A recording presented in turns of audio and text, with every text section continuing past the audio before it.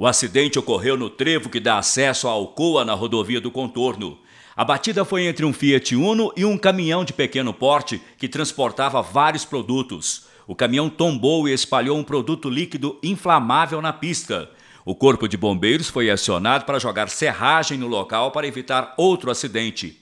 Após a batida, a motorista do Uno, que é funcionária da Alcoa, foi atendida pela equipe de saúde da empresa, aparentemente sem ferimento grave. A Polícia Militar Rodoviária registrou o acidente. As causas devem ser apuradas.